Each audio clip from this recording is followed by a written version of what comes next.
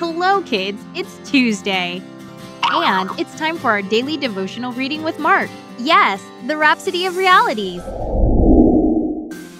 Hi, my name is Mark.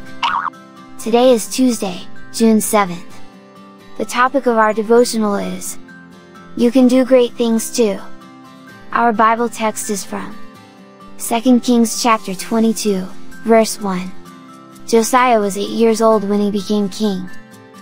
Do you know you can do great things?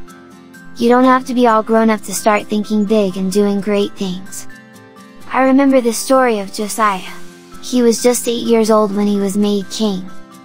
Though he was so young, the Bible tells us that he did what was right in God's eyes and made a lot of reforms in the land. From where you are, you can do things that'll please the Lord. Start today by reaching out to others with the gospel and getting them saved. Say this. I'm doing great things. For the Lord. Please read, the scripture reading, for today. 1 Peter chapter 2, verse 9. Thanks for listening, I love you all. Wow, wow, wow! Glory to God! Thank you, Mark! I love you, bye bye! See you again tomorrow!